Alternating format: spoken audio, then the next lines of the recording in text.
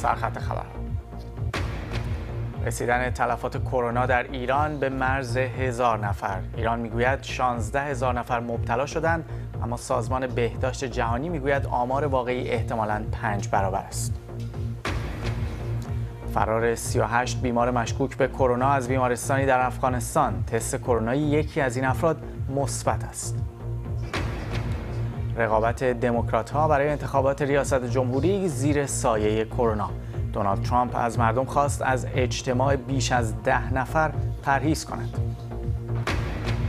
یک رویداد بزرگ ورزشی دیگر تحت تاثیر کرونا جام ملت‌های اروپا یک سال به تعویق افتاد.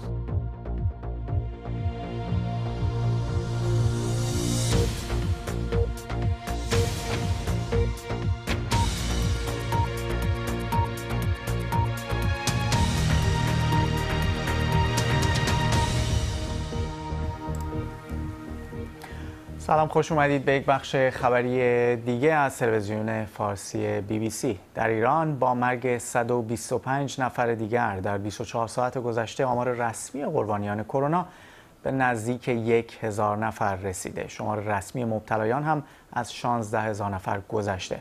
این در حالی است که یک مقام سازمان جهانی بهداشت می‌گوید شمار واقعی مبتلایان در ایران احتمالاً پنج برابر آمار رسمی است.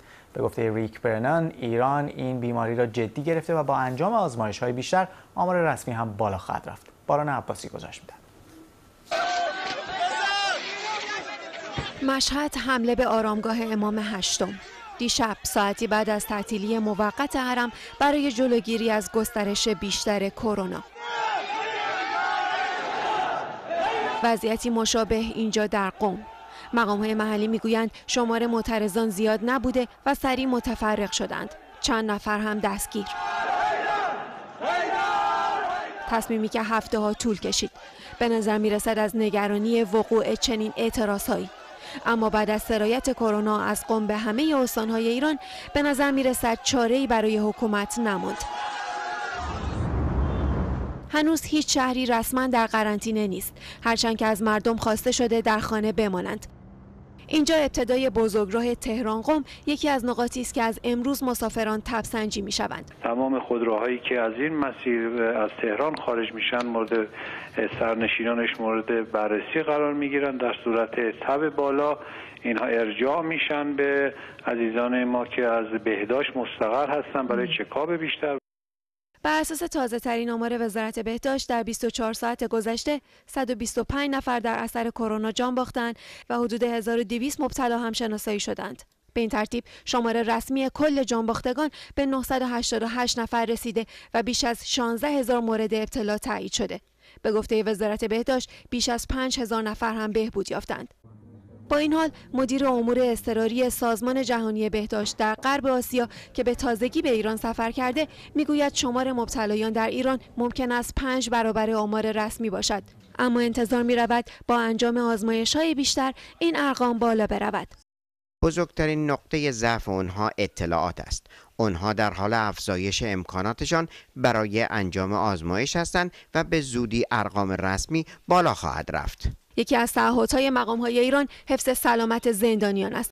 قوه قضاییه می‌گوید تا امروز 85 هزار زندانی را موقتا آزاد کرده. از جمله شماری از زندانیان سیاسی.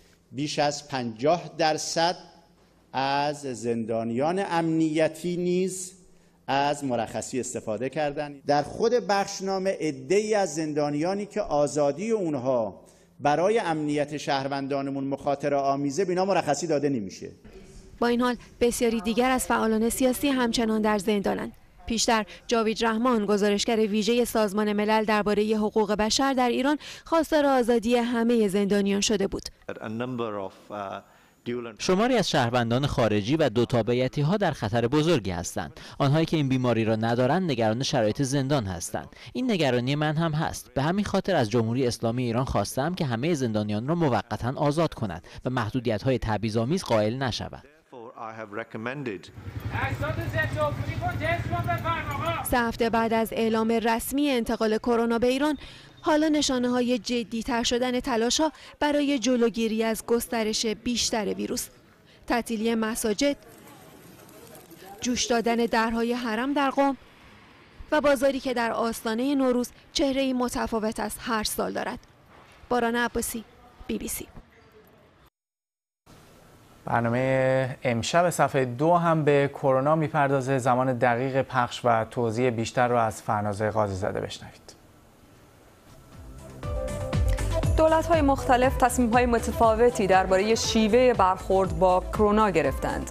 آیا روشن هست که کدام دولت بهترین روش را اعمال کرده و آیا یک روش برای همه کشورها قابل اجرا هست؟ برنامه صفحه دوی امشب را ساعت هفت نیم شب لندن 11 شب تهران تماشا کنید. و ما بریم سراغ چند خبر. از گسترش ویروس جدید کرونا در نقاط دیگه جهان. بیشتر نقاط فرانسه از دیشب در قرنطینه قرار گرفته. برای خارج شدن از خانه باید فرمی رو پر کرد که دلیل خروج از خانه رو توضیح بده و اگر کسی در خیابان این فرم رو همراه نداشته باشه تا 150 دلار جریمه میشه. خروج از خانه برای رفتن به سر کار خرید مایحتاج و داروخانه مجاز است. رهبران اتحادیه اروپا قرار هست امروز در یک کنفرانس ویدئویی درباره بستن مرزهای اتحادیه به مدت سی روز تصمیم بگیرند.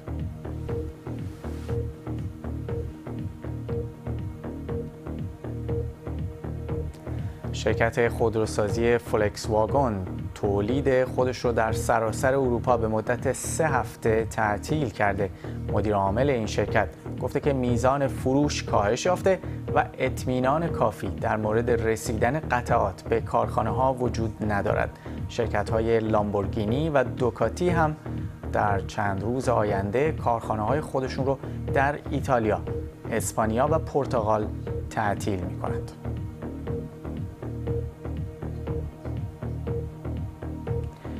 شاخص سهام در بازارهای اروپا در ابتدای روز رشد مختصری داشت اما خیلی زود به روند رو به سقوط روزهای اخیر بازگشت. در بازارهای آسیا هم تغییری به چشم نیامد. ارزش سهام در روز دوشنبه در سراسر دنیا افتی شدید داشت. فرانسه و چند کشور دیگر تدابیری برای حفاظت از سهامهایی در نظر گرفتند. که شتاب سقوطشان بیشتر است.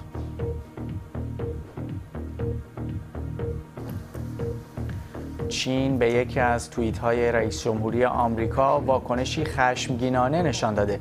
دونالد ترامپ ویروس جدید کرونا رو چینی توصیف کرده بود. وزارت خارجه چین گفته که تبدیل کردن بحران کرونا به انگلی علیه چین درست نیست. در روزهای اخیر های چین و آمریکا بر سر منشأ ویروس جدید کرونا مشاجرات تندی داشتند.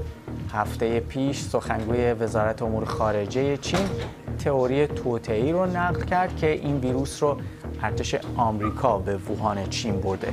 وزیر خارجه آمریکا هم از چین خواست که به انتشار دروغ پایان دهد. و در اسرائیل گروه های حامی حقوق شهروندی به تصمیم دولت برای ردیابی مبتلایان به ویروس جدید کرونا معترض هستند. دولت اسرائیل به اداره امنیت داخلی شیمبت اجازه داده برای ردیابی افراد ناقل ویروس به اطلاعات تلفن همراه شهروندان دسترسی داشته باشند. مدافعان حقوق مدنی این تصمیم رو نقض حریم خصوصی شهروندان می‌دونند. دولت اسرائیل اما در مقابل می‌گوید که در تلاش است بین حفظ حقوق شهروندی و حفظ سلامت عمومی نوعی اعتدال برقرار کند.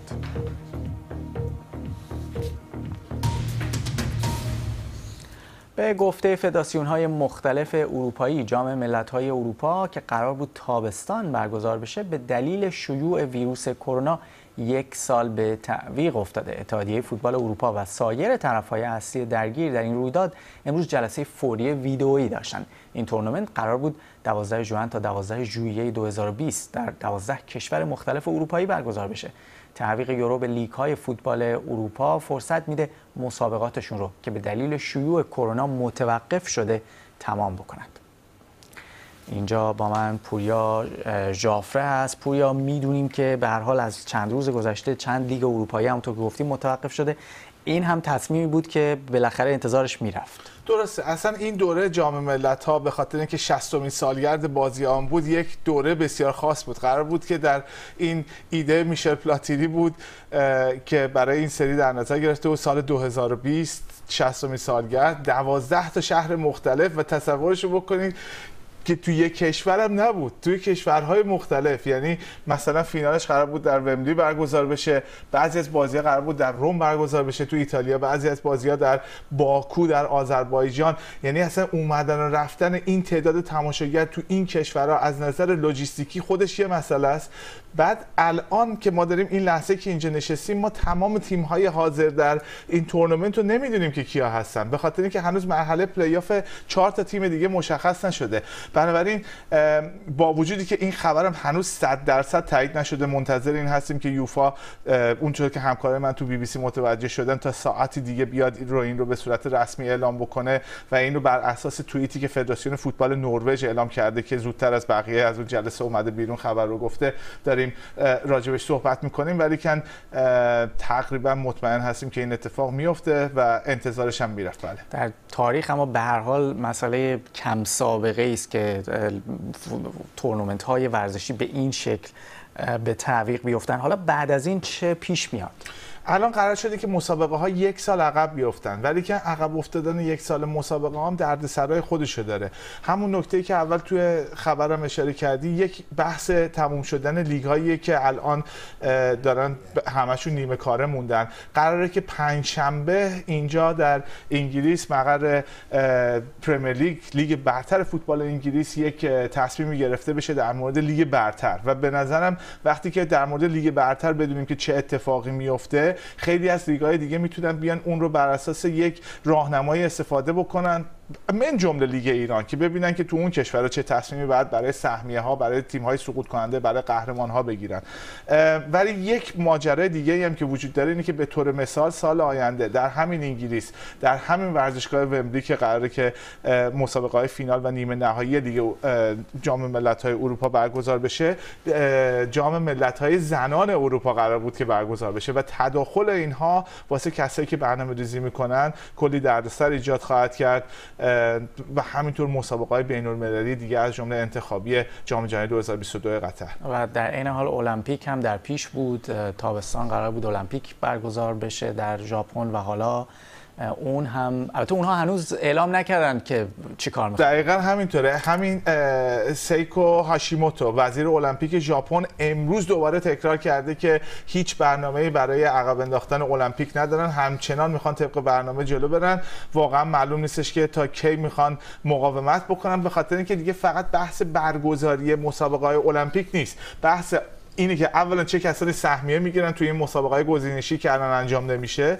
دوما اینکه آیا وقتی این ورزشکارا اگه همه سهمیه گرفتن برای بازی های المپیک آماده هستن و آیا ژاپن دوست داره که همچین المپیکی رو برگزار بکنه وقتی که هیچ ورزشکاری آماده نیست و چه جذابیتی خواهد داشت برای مردم که بخوان اون رو نگاه بکنن؟ ممنونم ازت پوریا. پوریا جعفر همکارم اینجا در استودیو مقام های محلی ولایت هرات در غرب افغانستان می‌گویند 38 نفر از افراد مشکوک به بیماری کرونا بعد از درگیری با کادر پزشکی از بیمارستان فرار کردند. تست کرونا یکی از این افراد هم مثبت بوده. هفت نفر از آنها امروز با همکاری مردم به مراکز درمانی برگردانده شدند. وحید الله مایار سخنگوی وزارت بهداشت افغانستان از کابل با ما هست خیلی اتفاق عجیبی است فرار از بیمارستان و بعد همین که به تعدادی از اونها برگشتن. کمی برامون از آخرین ها بگین آیا اونهایی که برگشتن هم ممکن است ازشون تست گرفته شده باشه و تست اونها هم مثبت باشه؟ سلام به شما و بیندای محترمتان. با تاسف که دیروز در حدود 38 تن واقع مشکوک اینا شفخانه را ترک کردن و متواری شدن که بعدا اکثریتشان مراجعه کردن اما شخصی که واقعا نزدش مثبت بود و یعنی مبتلا به ویروس کرونا 2019 بود. اینا از باشنده ولایت دایکندی بودند که در شهر ایرات اینا را یافته نتونستند شهرت از او تصویرش و تمام شماره تماس اینایش با پلیس شریک ساخته شده که امیدوار هستیم در یکی از ولایت زودتر اینا را پیدا بکنن و به یکی از شفاخانه ها انتقال بتن. به خاطر که هر قدر که دیرتر پیدا شوه خطر ابتلای دیگر زیادتر می باشه و هرات هم که الان تبدیل شده به کانون شیوع این بیماری چه برنامه هایی دارید الان برای هرات؟ خب شما قسم شاید آگاه باشین که امروز دولت جمهوری افغانستان 400 میلیون افغانی را اختصاص دادن برای ولایت هرات در مبارزه با ویروس کرونا و تمام اهتمامات گرفته شد.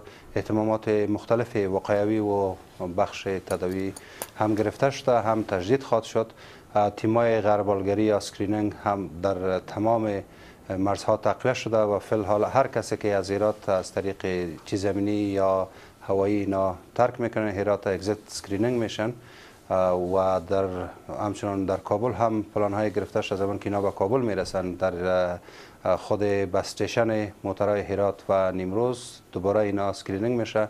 قسمت public awareness یا آگاهی فوق العاده پروگرامش زیاد شده. رسانه ها همکار هستند بسیار زیاد کارهای صورت گرفته. اما مدیریت خوبتر و بهتر نیاز است تا به این معضل رسیدگی شود. و می‌دونیم که دولت افغانستان عملا مرزهاش رو مثلا با خیلی از کشورهای دیگه نبسته. از جمله ایران حداقل باز بود و رفت آمد انجام می‌شد. اما در عین حال بحث قرنطینه رو هم چندان جدی نمی گرفت یعنی برخلاف کشورهای دیگه از اون افرادی که وارد می شدن درخواست نمی شد یا اینکه حداقل نظارتی بر اینکه اونها یا قرنطینه رو انجام میدن یا نمیدن نمی‌شد. آیا تغییری در این قانون دادین یا همچنان به همون منوال سابق پیش می اقدامات ما از اول جدی بود. حتی زمانی که ویروس در کشور چین بود ما اقدامات اتخاذ کردیم. تیمای غربالگری ما در ایران هم بود شفخانه را اختصاص دادیم. و زمانی که واقعات مثبت در کشور همسایه ایران پیدا شد و زیادتر شد روز به روز. اقدامات ما روز به روز شدت پیدا کرد و تعداد پرسنل هم زیاد ساختیم. غربالگری صورت گرفت اما در بعضی حالات به شکل بسیار بیرویه مهاجرین دوباره به کشور عودت می‌کنن یا رد مرز میشن که خود سبب ایجاد یک سلسله مشکلات شد. اما ما تیم آنچه که به وزارت صحت عامه رابطه می‌گیره در قسمت screening غربالگری و همچنان تعلیمات صحی کارهای صورت گرفت و هیچ کسی بدون کمک صحی نماندن. تمام یک سوال یک خاطر واقعات مشکوک ما. صحبتتون رو قطع می‌کنم. یک سوال می‌کنم اگه لطف کنید سریح و سریع جواب بدین. آیا سیستم بهداشتی افغانستان آمادگی این رو داره که مواجه بشه با تعداد زیادی از بیمارانی که به دلیل این ویروس قطعا به بیمارستان خواهند اومد؟ وزارت صحت آمادگی خود گرفته آماده هستند. اما ما همکاری تمام نهادهای دولتی غیر دولتی و همکاری تنگاتنگ مردم نجیب افغانستان خواهان هستیم تا بتانیم که در مبارزه با ویروس کشنده کرونا فایق بیم. ممنونم از شما. وحیدالله مایار سخنگوی وزارت صحت افغانستان از کابل با ما. اما برای بحث بیشتر در مورد شرایط و اقدامات دولت ایران با این ویروس کرونا علیرضا نامور حقیقی با ما هست. مسائل سیاسی ایران از تورنتو آقای نامور حقیقی دیدیم که دیشب بالاخره با کلی تاخیر درهای حرم ها در قوم و مشهد بسته شد ولی واکنشی هم در پی داشت. همین مسئله دولت رو در شرایط بسیار سختی قرار میده نه؟ بله ببینید این بحران کرونا و نحوه تعامل باهاش یک تصویر کلی نشون میده از نحوه تصمیم گیری و حل بحران در جمهوری اسلامی. الان بحران کرونا که امنیت بهداشتی ایران رو هدف قرار داده که می‌تونیم برای هر انسانی امنیت بهداشتی مهمترین امنیتی که بهش توجه می‌کنن همه اون چالش هایی که در گذشته در حوزه های مختلف بیرون می‌زد مثل دعوای درون قدرت تغییر تصمیم گیری و موارد دیگه شما اینجا می‌بینید. بنابراین اون نتیجه اون چل سال سیاست رو شما اصارش رو در نحوه تعامل با این پدیده ببینید چند تا نکته کلیدی الان وجود داره که اگر دولت بهش جدی رسیدگی نکنه و کل حکومت نتایجش فاجبار خواهد بود برای امنیت بهداشتی ایران. این دیگه سیاست اقتصادی نیست. حالا بگیم یکم درآمد ایران کم میشه زیاد میشه یا به هر حال امکانات اشتغال کم میشه. اینا می‌تونه منجر به مرگ انسان ها هزاران انسان تبدیل بشه. نکته اولش این است که از همون اول باید تصمیم گیری در مورد اینی که چگونه این موضوع پیشگیری بشه مدیریت بشه و پیش بره باید به گروه متخصصین و پزشکانی منتقل می‌شد که توانایی این کار رو دارن و تصویر دارن و موضوع رو می‌شناسن ارتباطاتی دارن با سازمان بهداشت جهانی و می‌تونن راه مقابله با اون رو به خوبی نشون بدن. با توجه به ضعف سازمان پزشکی در ایران نظام پزشکی در ایران عملا این تصمیم گیری منتقل شد به بروکرات ها برخی از گروه های نظامی و عملا شاهد بودیم که اون توصیه های بهداشتی برای جلوگیری قرنطینه در شش هفته اول که می‌تونست موثر واقع شد صورت نگرفت. الان هم دیر نشده. الان هم باید دولت قبول کنه که آقا هیچ سابقه ای نداره. موضوعی نیست که تخصص داشته باشن نه روحانیون نه بروکرات ها این موضوعی است که بایستی نمایندگان پزشکان متخصص پرست نمایندگان کادر بهداشتی لابراتوار اینا همه بشینن یه تصمیم بگیرن و اونو انجام بدن. اون تصمیم گیری قطعا مورد قبول اکثریت جامعه ایران هست و می‌تونه اعتماد کنه برای که افرادی که انتخاب شدن افراد متخصص این قضیه نکته دوم مسئله تجهیزات پزشکی. یعنی شما بدون این شما دولت فرض کنید می‌خواد بری جنگی اصلش این پزشکا هستن و تجهیزات حفاظتی و مراقبتی و معالجاتی.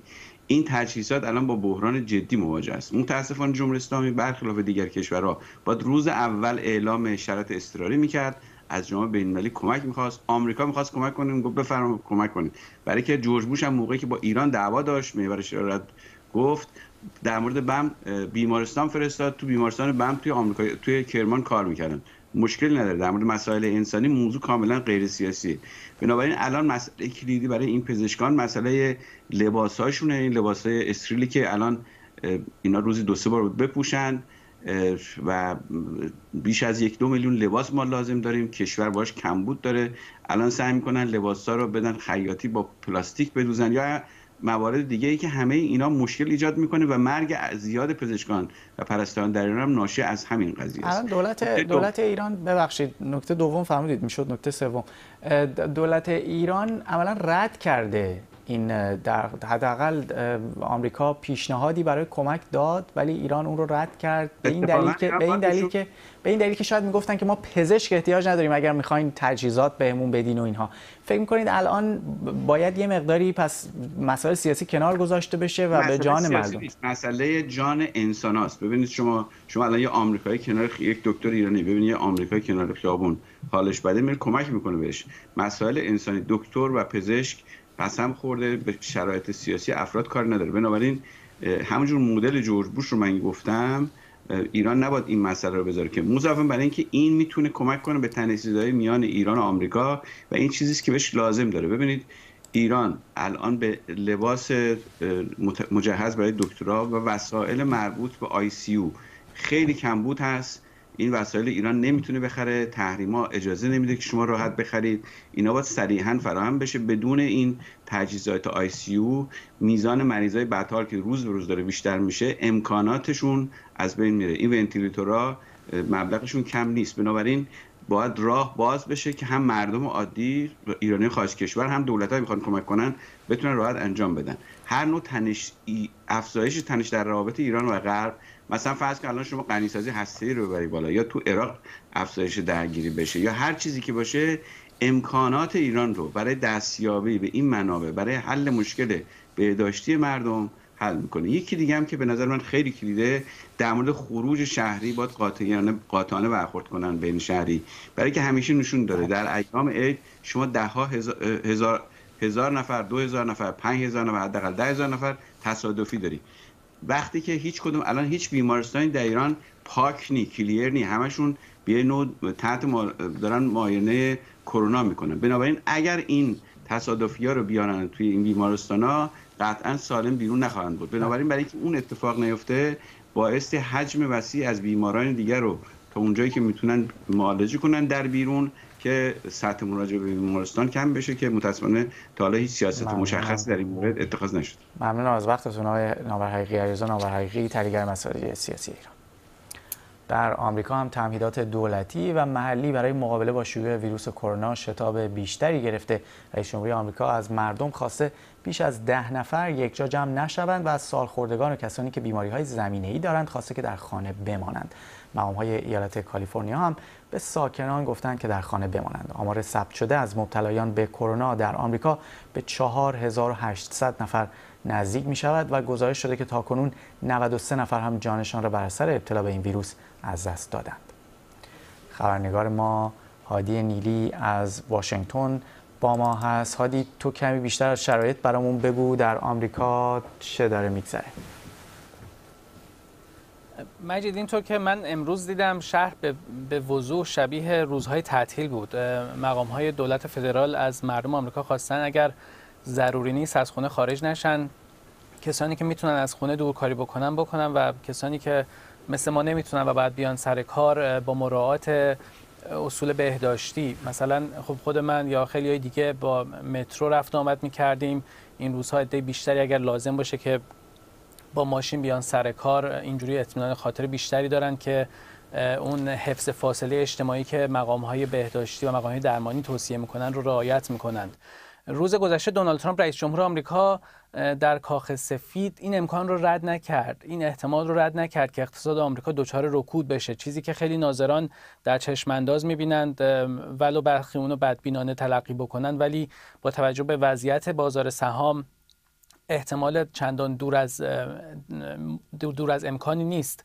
رئیس جمهور آمریکا دیروز که رد نکردین احتمال رو امروز رسانه‌های آمریکا دارن گزارش میدن که دولت آمریکا ممکنه که بودجه معادل 850 میلیارد دلار برای جبران خسارت ها و برای مقابله با تبعات اقتصادی ناشی از بحران شیوع ویروس کرونا از کنگره بخواد. به علاوه 100 میلیارد دلار احتمالا برای مثلا پرداخت حقوق افرادی که در این مدت نمی‌تونن سر کار برن کمک به افراد و خانواده هاشون در همین حال این درخواست حتی از طرف راستگراها و محافظه کاران در آمریکا داره مطرح میشه که دولت آمریکا برای عبور از این بحران شاید لازم باشه که به آمریکایی ها و به خانوارهای آمریکایی کمک نقدی بکنه. بعضی گفتن هزار دلار بعضی بیشتر گفتن بعضی کمتر گفتند در این حال هشدارها هم در این روزها داره بیشتر میشه برای اینکه مردم از تجمع و گرد هم اومدن پرهیز بکنن. ممنونم ازت هادی. ببخشید وقت ما هم تمام شد. وگرنه سوالای بیشتر ازت داشتم که فکر کنم در بخش بعدی بیام پیش. اما به پایان این بخش خبری رسیدیم. دعوت می‌کنم بیننده برنامه ویژه ما برنامه ویژه 37 درجه در مورد کرونا باشید.